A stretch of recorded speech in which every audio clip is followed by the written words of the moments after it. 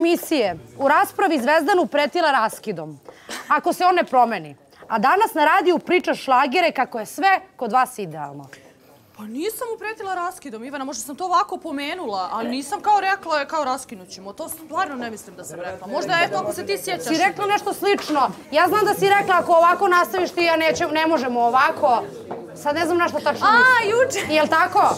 Ne, ne, ne, evo odmah moram da kažem. Ajde, nisam, mu, reci. nisam mu prijetila raskid. Ne, ne, ne, bilo je Tako onako. se shvatilo. Da. Da. da, da, da. Ne, ne, ne. Nego sam mu rekla, evo ovako, to smo danas pričali sa Matorom. Ja imam... Ali nije smešno, što se smeša? Zato što se radi o mojoj... Uh, uh, sad ću da ispričam. Radi se o tome što sam ja navikla da on meni mjesec i po dana 24 sata pruža pažnju.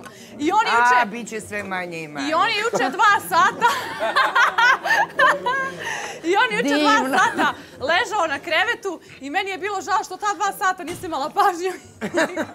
to je stvarno istina, Bože, sačuvaj. I, Sad je eto, po dva, pa će Ne, ne, tri, samo zanima onda- kako tri, mu po, pa spavaš na grudima četiri. kad onoliko hrče, gledam da nas ne veruje. E, kad se neko voli, sve se trpi. I sad ja sam napravila tu bespotrebnu reakciju. Čovjek dva sata je na krevetu odmara, mislim, nije mu dobro, umoran je. I ja kao dva sata nisi sa mnom, ne pružaš mi pažnju. I ja sam zbog toga napravila niđe veze. I onda sam mu kasnije rekla, izvini, ja sam tako malo posesivna. Bez, bez problema napravim problem, jer si ti na krevetu dva sata i kao fali mi tvoja pažnja. Pa normalno mi fali kad ležiš na krevetu. Jesi mu napravila problem? Ma nisam mu napravila problem, ali bespotrebnu neku uh, si- sitnu raspravu koju sam napravila koja nije uopšte imala poentu. Ali stvarno mu nisam kritiku raskidom. Mislim, ako se to tako shvatilo, eto ja ću reći da nisam, možda sam provukla tako nešto u fazonu kao ne znam ni kojem. Tako da nije to ni apsolutno ni... A šta ako sve manje manje što kaže Marija? Nema e, toga, ništa od toga, Ivana. Onda sledi Manje, manje ti pa- Neće meni nikad. njega da on. Onda sve. sve, kaže Marija, onda sledi raskid i ona. Nema od toga ništa. O, ne, stvarno smatram da sam apsolutno za to pretjerala. Hoću šta misli, dva sata neko spava i ti mu kažeš kao ne pružaš mi pažnju dva sata. I Pa kako da spava da ti pružam I onda pažnju? Zvezdan ustaje s izilom prenaglio sam. Da. Ne brinite, vidite to, Marija. Znate, gledali ste taj film više puta, ovog, ovog puta će biti malo drugačiji. Tako da ništa, Ne, kažem, ne, samo moja nije neka bilo to posesivna tako. reakcija. Niko nije ništa rekao. Ništa. niko nije bio iskren da se pokajao i da je rekao da, da je prenaglio. Ma ne znam, to ne zanima Ja ne me. Vjerujte ja gledam svoju, svoju sad e, situaciju, te me druge ne zanimaju. Ni, ništa. Ja sam e, kao po običaju malo ostalih. e, izdramila niz čega. Znači niz čega. Od njegovog ležanja na krevetu ja sam napravila da on tu meni ne posvećuje pažnju. Znači ono... Hvala Anđela. Zvezdana, je li teška Anđela? Li- Je li zvoca mnogo? Ma ne. Da, da, vidjeli smo. Ti preblediš. Ja? Pa kažeš šta mi je ovo trebalo. Ne, ne, ne, ne. dobro. Polako, polako, sad će to doći na svoje. Dobro, i jesi očekivao da je toliko teško? Ne, ni, ne, ali nisam očekivao da će ovoliko brzo da, se, da počne da se menja i da želi da se menja. Aha, Kako to mislim. Ustani, molim te, da, da te čuju gledalci, da te vide, tako je. Žuto je boje ljubomore.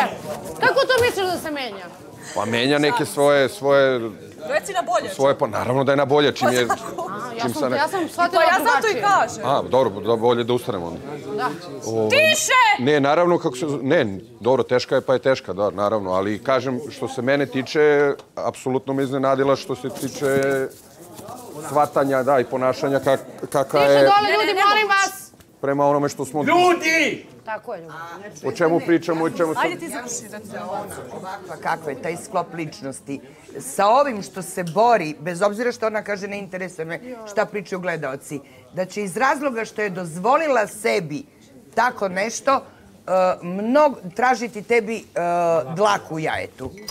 A, da bi opravdao on što je ona tako svoju reputaciju Tako je, tako je. uništila. Da. Pa ne znam, Ima ako se, smisla. pa Nisam ne, ako, razumjela se- uopšte. ono, ne, ako bude tako dešavalo, onda naravno da ćemo imati problem, ali ona ne pokazuje mi to uopšte nijednog trenutka sad. Da, nisam Kaže, razumjela, naprotiv tome, naprotiv tome, stvarno, stvarno se ponaša druga, od- ja vidim da se ponaša drugačije i da želi da se ponaša drugačije zbog mene. može da se spusti, ali ako Tako, hoće, da, onda da, ljudi da, ne da, trebaju ni da me apsolutno. vole. Tražit Ono što ćeš sam već rekla. poštovanje s njegove strane. I dobit će ga svakako.